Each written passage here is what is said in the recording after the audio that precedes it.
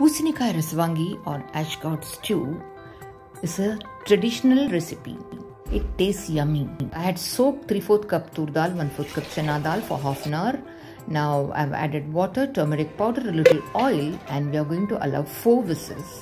And after the pressure is gone, let's smash the dal and keep it aside. Now heat some oil and tomatoes are absolutely optional but I've added them and add some salt, turmeric powder and red chili powder. Give it a mix and now add the ashgourd and some green chilies.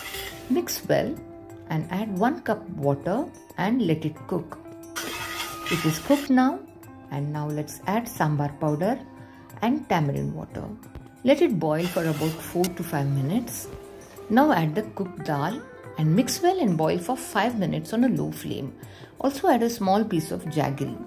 After 5 minutes, switch off the flame and now heat oil and splutter mustard seeds, peanuts, chana dal, urad dal and red chilies. And carefully on a low flame give it a stir and add a little hing and curry leaves and add this tempering. Now I'm roasting 3 tablespoon grated coconut and adding that to the stew. That's it, done. So when are you trying it out? Thank you.